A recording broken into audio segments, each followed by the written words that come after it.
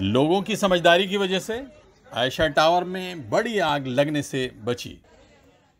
आग की ये लपटें देखकर आप समझ सकते हैं कि ये आग किसी बड़े और भयानक हादसे की वजह बन सकती थी। लेकिन कोई बड़ा हादसा होने से टल गया। ये यहाँ के लोगों की सावधानी की वजह से हो सका। यह आग जोगेश्वरी वेस्ट में एसवी रोड पर आयशा टावर के ग्राउंड फ्लोर पर मौजूद न्यू स्काईवे रेस्टोरेंट में लगी थी। इस टावर में कई बड़ी बैंक की ब्रांचेज हैं, जिसमें एटीएम लगे हुए हैं।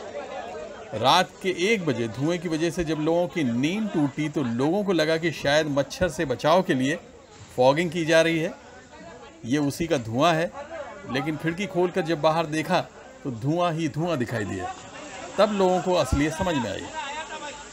इसी इमारत में शकील शेख भी रहते हैं। उन्होंने बताया कि आग की लपटों को देखकर पूरी इमारत में एक दहशत सी फैल गई थी। लेकिन इमारत में लगे फायर सिस्टम की वजह से आग पर काबू पा लिया गया। जबकि फायर ब्रिगेड के आने का इंतज़ार किया जाता तो किसी बड़े हादसे से इनकार नहीं किया जा सकता। इमारत में काम करने वाले वॉचमैन और दूसरे कर्मचारियों ने आग पर काबू कर लिया। शकील शेख बताते हैं कि वो जब अपने फ्लैट से लिफ्ट से नीचे की तरफ़ जा रहे थे तो लिफ्ट सभी फ्लोर पर बार बार रुक रही थी। इसकी वजह से उन्हें नीचे तक पहुँचने में करीब आठ मिनट लग गए। इस टावर में करीब नब्बे फ्लैट्स हैं। अगर हादसा होता तो फिर उसमें जानी नुकसान भी हो सकता था। लेकिन लोगों की सूझबूझ ने इस हादसे को टाल दिया।